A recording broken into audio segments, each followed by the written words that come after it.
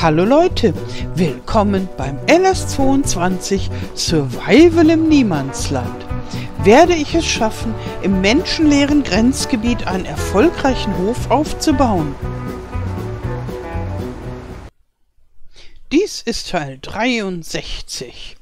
Und guck mal, wie es regnet. Und der arme Helfer muss hier im dünnen Gewande, ohne Kabine auf dem Trecker auf und abfahren. Ja, und es gibt hier noch einiges, obwohl er ist, glaube ich, relativ bald fertig. Was ist denn da mit diesem... mit diesem Baum? Nee, das geht noch bis da hinten. Und warum ist da noch ein Baum? Sorry, ich bin das blockierende Objekt. Wie konnte ich den übersehen? Naja, den werde ich jetzt noch schnell fällen. Bevor er von diesem Objekt blockiert wird. Man fragt sich.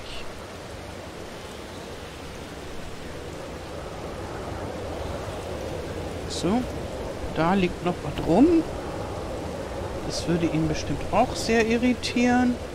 Jetzt ist es, glaube ich, weg. Oh, und er ist schon wieder auf dem Rückweg. Ja, also er hat da noch ordentlich was zu tun. Das zieht sich noch. Bis hierhin. Äh, ne, beziehungsweise bis dahin. Das wird ein ganz schön großes Feld. Dann lohnt sich's wenigstens.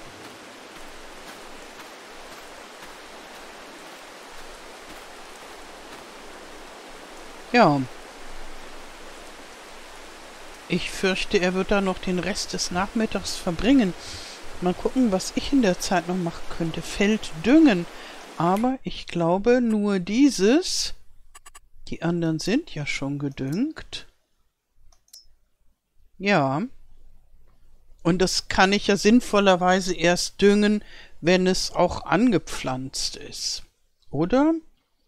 Nö, ich denk mal, ich könnte da auch so fahren und dann besprühe ich halt meinen armen Helfer ähm, mit den Düngekörnchen und sause an ihm vorbei. Das müsste eigentlich gehen.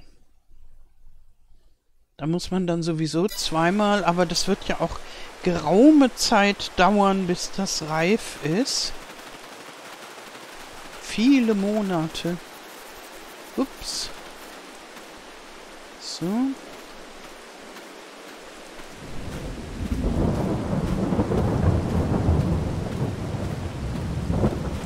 Na komm, zum anderen Trecker flitzen. Da ist er ja.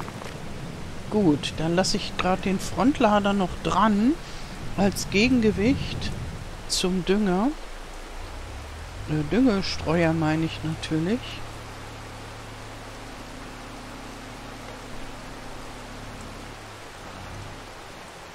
Oh, habe ich den nicht hier? Hm. Nee, offenbar nicht. Ja, irgendwo werde ich ihn schon haben.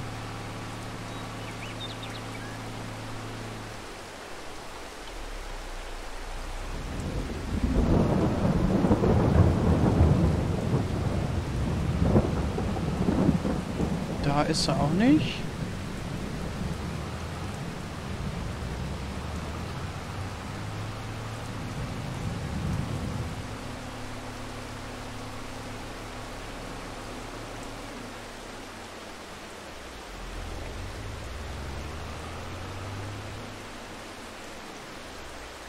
Hm, ich habe doch einen Düngestreuer.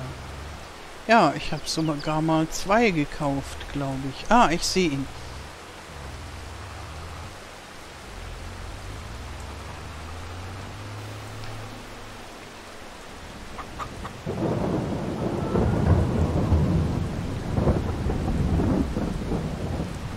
Na, immerhin kriegt dann das frisch angesäte Feld ordentlich Wasser.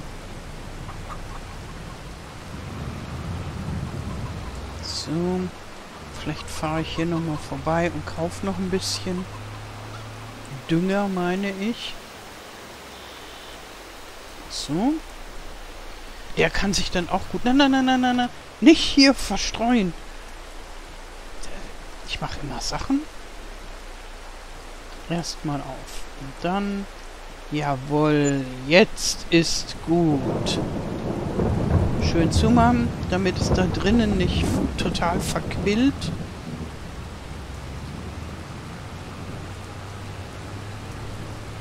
Der Trecker ist schon wieder Richtung halb kaputt.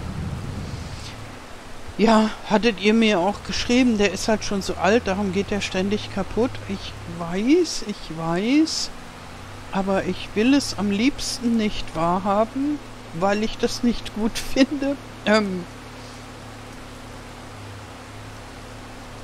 ja, ich habe ja vor, äh, mir einen neuen Trecker anzuschaffen. Wäre ein Gewicht doch schlauer gewesen. Nun gut. Also ich habe vor, mir einen anderen Trecker anzuschaffen als Haupttrecker. Ich wollte ja eigentlich am liebsten zwei haben. Aber dann habe ich mir hier dieses super teure Feld gegönnt. Also sprich die Felderstellungsarbeiten. Und habe eine halbe Million fast verprasst dafür. ohne dass es mir so richtig klar wurde. Und da frage ich mich auch, warum passiert mir sowas immer mal wieder? Hat er da eine Lücke gelassen? Dann ist da vielleicht noch irgendein Hindernis. Naja, da muss ich das wohl nachher mal ähm, machen. Hier gibt es noch ein paar Korrekturstellen.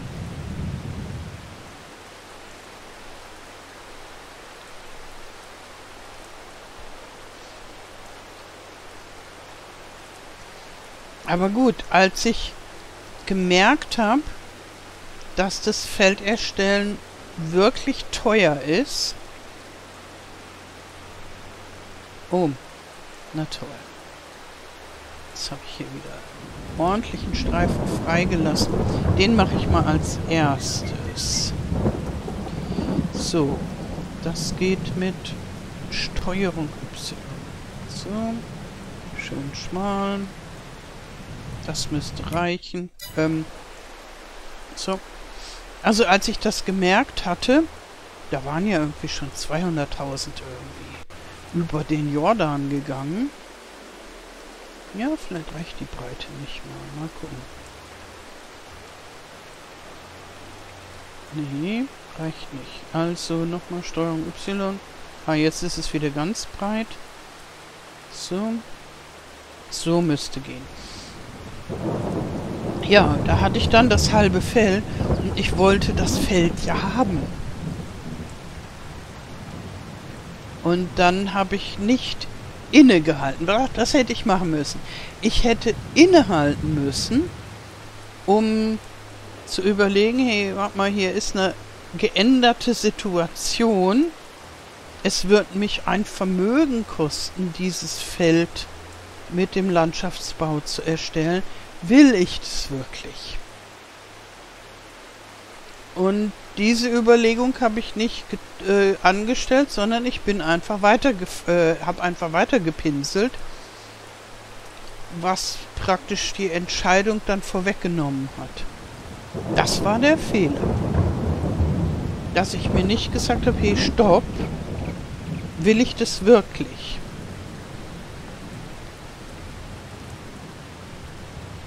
Und vielleicht, wenn ich lange genug nachgedacht hätte, hätte ich mir gesagt, hm, für eine weitere Viertelmillion setze ich mich vielleicht doch lieber mit dem Grubber hin und mache es selber. Es ist immerhin der Preis von einem guten Trecker.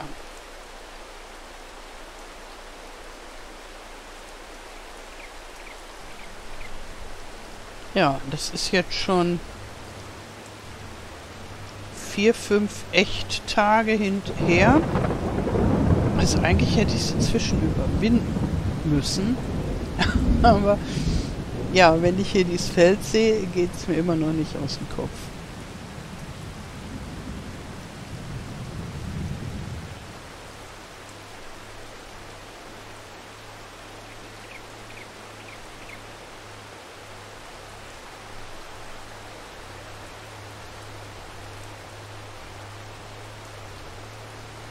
In, wo war das? In Elmkrieg ist mir das ja auch passiert beim Grasmalen. War das das Getreide-Let's Play? Ich glaube ja. Es war nicht in so einem großen Umfang, weil ich viel weniger Geld hatte. Aber auch da wollte ich halt ein bestimmtes Stück Feld, also ein bestimmtes Stück Nicht-Feld, so am Feldrand, wollte ich keine hässliche nackte Textur haben, sondern hübsches Gras. Hm, ich hatte noch ein bisschen Geld und dann dachte ich, ja, Gras kostet zwar ordentlich, aber das gönnen wir uns jetzt. Und da war mir auch nicht klar, wie extrem teuer es ist. Und dass dieses kleine Fleckchen, das war irgendwie gerade mal so ein Stück wie, sagen wir mal, das, was jetzt Gras ist, bis zu den Büschen da hinten. Nur so ein kleines Eck.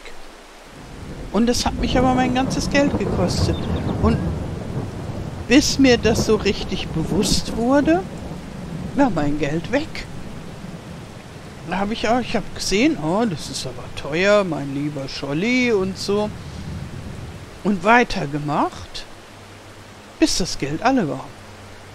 Und beim, hier beim LS19 auf der Niemandsland, das hatte ich ja schon erzählt, ist es mir beim beim Seegraben so gegangen. Da habe ich Millionen reingeballert in die Erdarbeiten. Immer wieder das Gleiche. Ich merke es und halte dann nicht inne. Ob ich es nochmal lerne?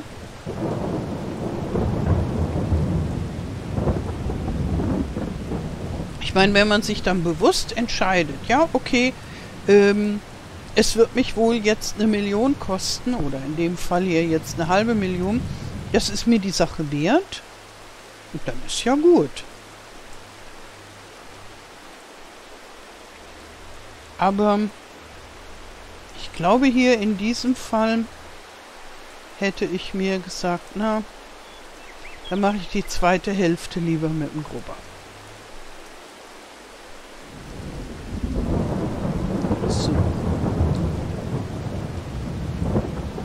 Aber richtig schlimm ist das jetzt auch nicht. Weil, ja, ich habe jetzt hier ein schönes neues Feld. Das scheint mir doch recht groß zu sein. Das wird auch Geld abwerfen. Und mein Grasfeld wirft ja Geld ab. Und meine vielen Gärten werfen auch ordentlich Geld ab. Vor allem zusammen mit der Produktion. Das müsste ich dann also wieder reinkriegen können.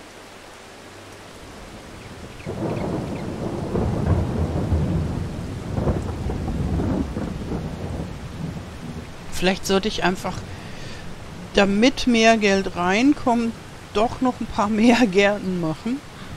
Obwohl ich ja eigentlich schon viele habe.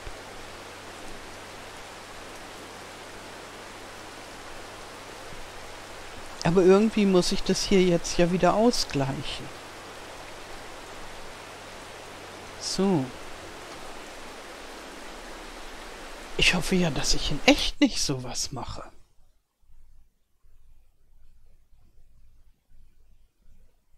Okay, hier zählt es nicht. Das Düngen meine ich. Mal gucken, wenn der fertig gesät hat, ob das dann immer noch so gescheckt ist oder ob es dann durchgehend blau ist. Da bleibe ich vielleicht am besten hier in der Nähe. Hm, in einem Bereich, wo er nicht mehr wenden muss.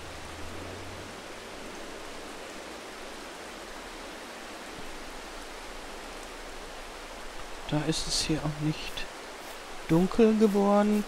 Ich fürchte, da muss ich nochmal nachdüngen. Aber das kriegen wir hin. So.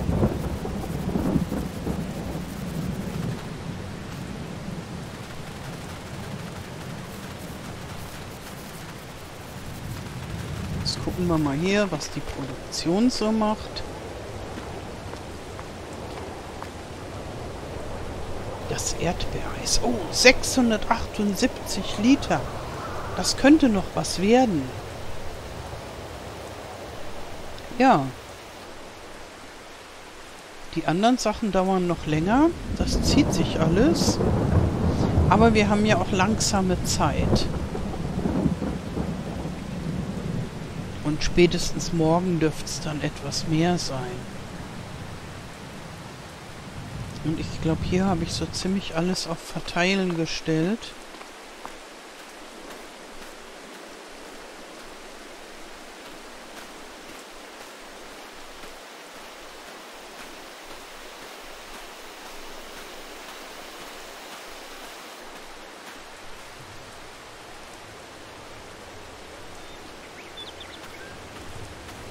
Dieser Baum, der muss eigentlich nicht weg. Außer ich mache hier noch eine zusätzliche Reihe Bäume, äh, Gärten. Ich mache ihn mal weg. Sicher ist sicher. So.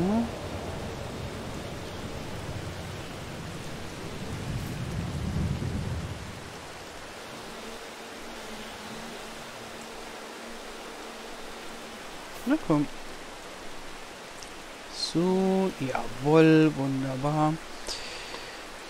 Okay, ich denke, das ist das Vernünftigste, wenn ich hier voll auf Gärten setze. Und später werde ich diesen Garten dann wegmachen und da werde ich vielleicht eine Verkaufsscheune hinstellen. Aber auf jeden Fall wird der da vorne irgendwann wegkommen, weil der ist dann auch überflüssig, wenn ich hier alles voll mit Gärten habe. So, guck mal.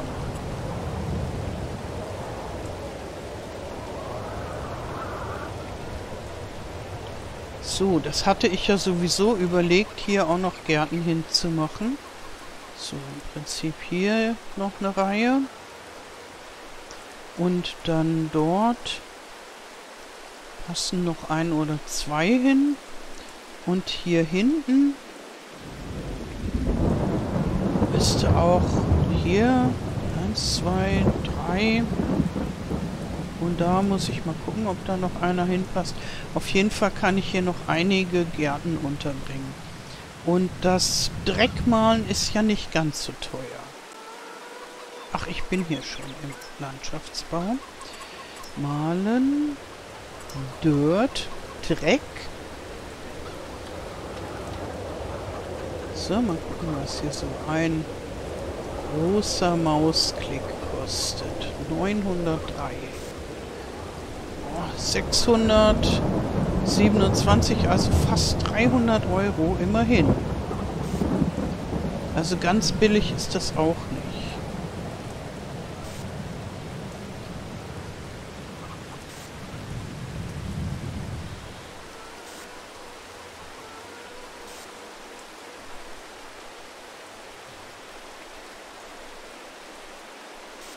Aber es ist nicht so schockierend teuer wie, ähm, wie Grasmalen zum Beispiel.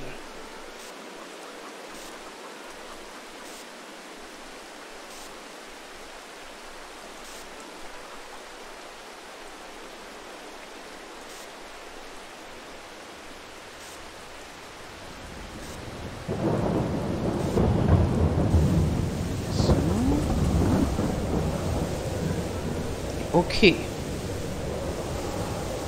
Und dahinter mache ich dann erst weiter, wenn ich hier fleißig gebaut habe. Und dann setze ich da auch ähm, Hydranten dazwischen. Dafür reicht es ja aktuell das Geld. Gewächshäuser, Gärten. Und die drehen wir so rum.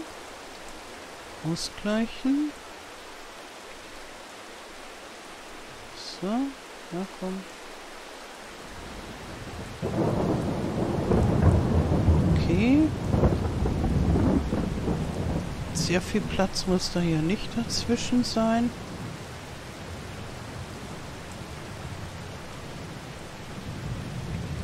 So. Jawohl.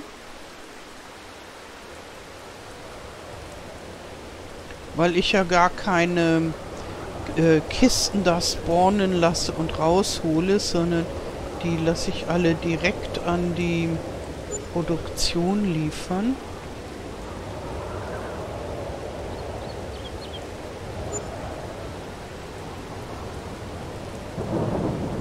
So.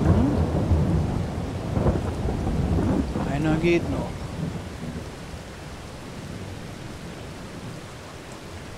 So. Und der muss jetzt umgedreht rum sein. Ist es ausgerichtet? Ja. So.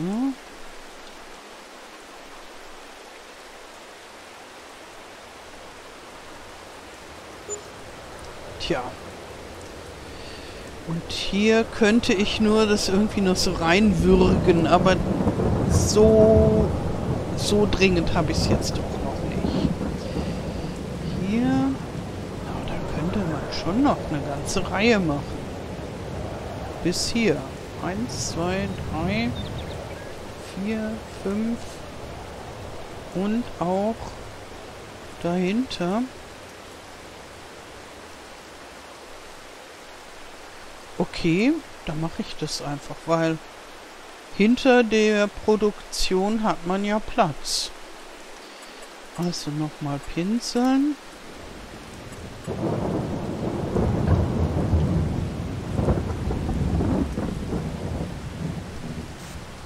So. Bis hier.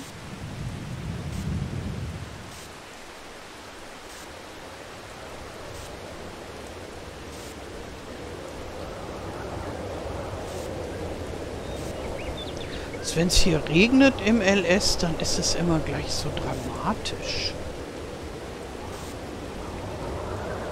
So. So.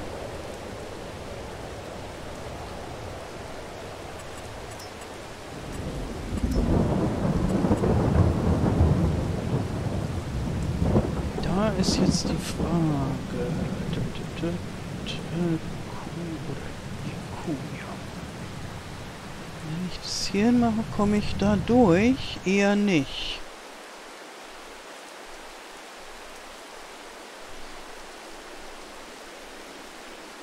Aber hier kann ich nicht weitergehen. Ein bisschen, ein bisschen. Wenn ich hier diesen V, dieses freie Platzieren mache, könnte ich hier noch bis hierher gehen. Und dann komme ich da durch zum Gießen. Also malen wir noch ein bisschen weiter. So.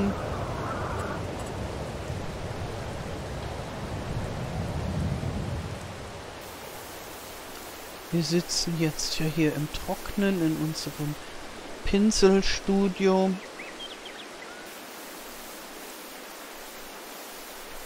Nur der arme Helfer wird nass.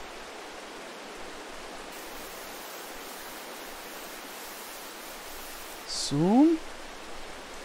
Moment schon. Dann machen wir das hier auch ordentlich. Bis hier. So. Und jetzt nochmal drehen.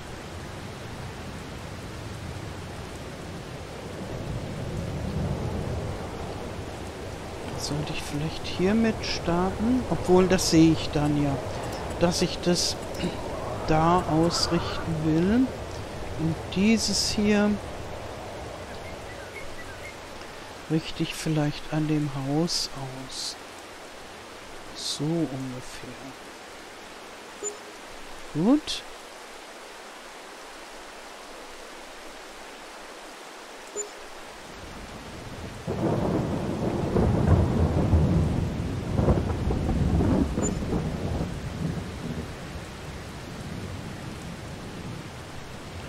So, jetzt freies Platzieren.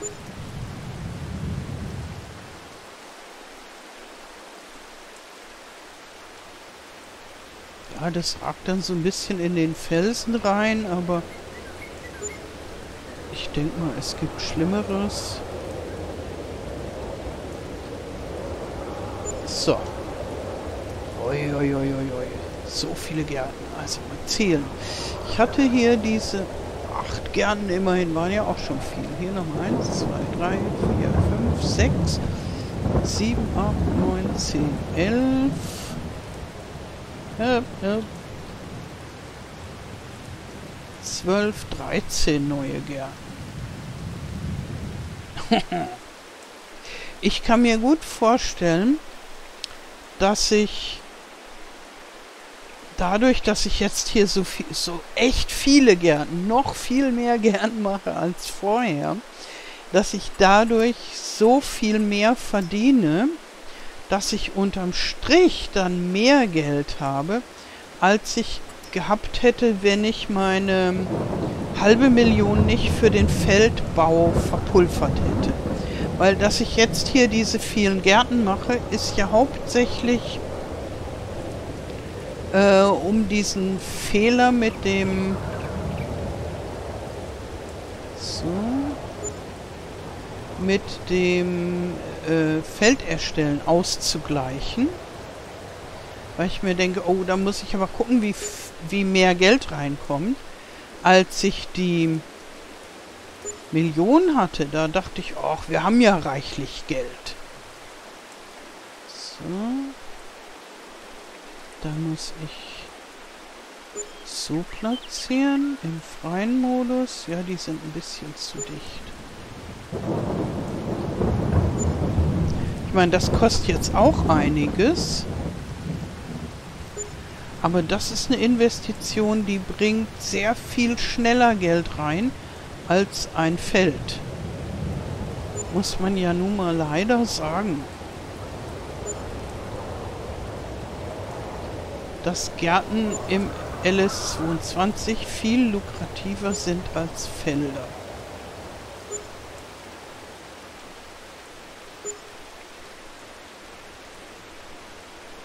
So.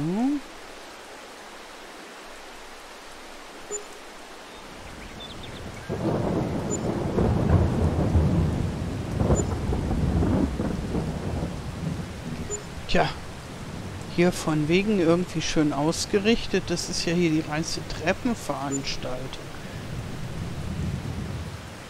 Nun ja. Aber nur so hat's gepasst.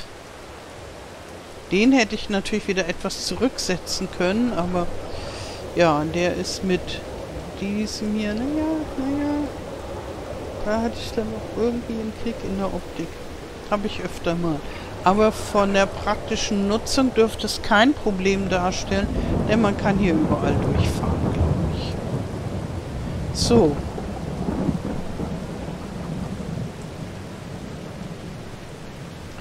Ja, jetzt habe ich meinen Trecker noch da hinten beim Düngen. Und der Pickup kann den Wasseranhänger nicht benutzen. Ja, hier hat er nicht gedüngt. Wohl, weil da noch äh, das, das Wiesengras drauf war oder was auch immer. Nun gut, dann werde ich da halt nachher nochmal drüber düngen. Und vor allem muss ich auch noch fertig sehen, weil der hat hier ein paar Fehlstellen drin. Und dann muss ich auch mal gucken, was da noch am Boden ist, was ihn daran gehindert hat, diese Reihen zu sehen. Denn meistens liegt da dann irgendwie noch ein halber Baumstamm rum oder sowas.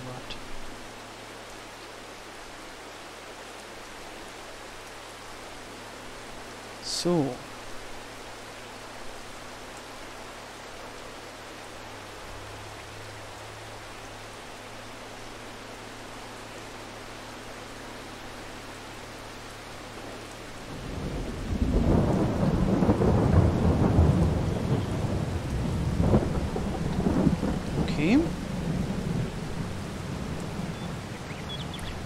Das Erdbeereis, das Erdbeereis. Das ist jetzt ja hier die erste Pflicht, wo der wo der Romeo so lange drauf gewartet hat. Also mein hiesiger Wehrwolf. Der wartet schon Ewigkeiten auf Erdbeereis. Ich habe ihn dann erstmal mit Erdbeeren vertröstet, weil ich noch keine Kühe hatte. Und jetzt gibt es das erste Erdbeereis. Und das habe ich ihm versprochen. Das wird nicht verkauft.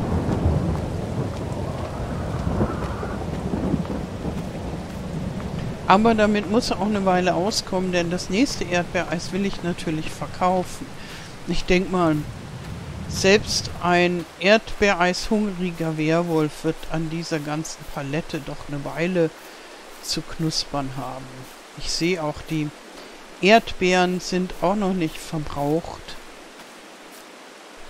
Dann stelle ich ihm das hier auf die andere Seite seines Hauses.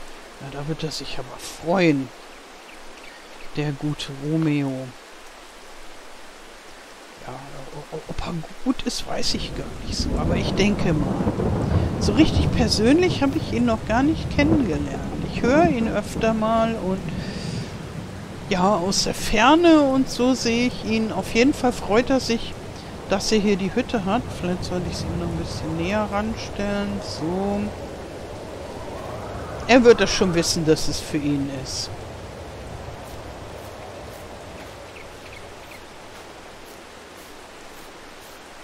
Und ich habe hier auch im echten Leben Erdbeereis gemacht, kürzlich. Das ist auch sehr gut geworden. Mangels Eismaschine, die ständig umrührt, war es zwar nicht so ganz geschmeidig, aber, aber lecker. So. Tja, wo wir das jetzt vollbracht haben, würde ich sagen, das Gießen der ganzen Gärten vertage ich mal auf die nächste Folge. da habe ich ja einiges zu tun. Aber da ich jetzt ja bei jedem Garten auch einen, ähm, einen Hydranten habe, ist es nicht so viel Hin- und Herfahrerei, sondern einfach gemütlich stehen und auffüllen und dann weiterfahren und auffüllen und weiterfahren. Also ganz gemütlich und beschaulich genau das Richtige für einen verregneten Nachmittag. Okay, dann wünsche ich euch noch einen wunderschönen Tag. Vielen Dank fürs Zuschauen und alles Gute. Bis zum nächsten Mal. Tschüss.